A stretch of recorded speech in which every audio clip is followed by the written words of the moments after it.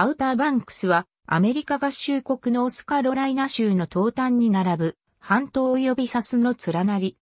アウターバンクスはアメリカ合衆国ノースカロライナ州の東端に並ぶ半島及びサスの連なりで、ほぼ南北に並び、東側は大西洋で、西側はパムリコ湾、アルベマール湾などの内海で、ロアノーク島もある。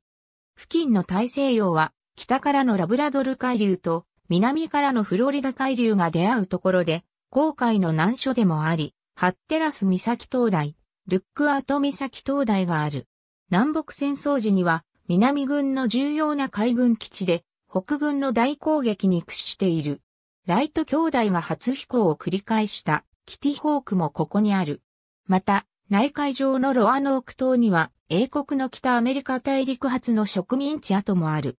現在は観光地、保養地になっている。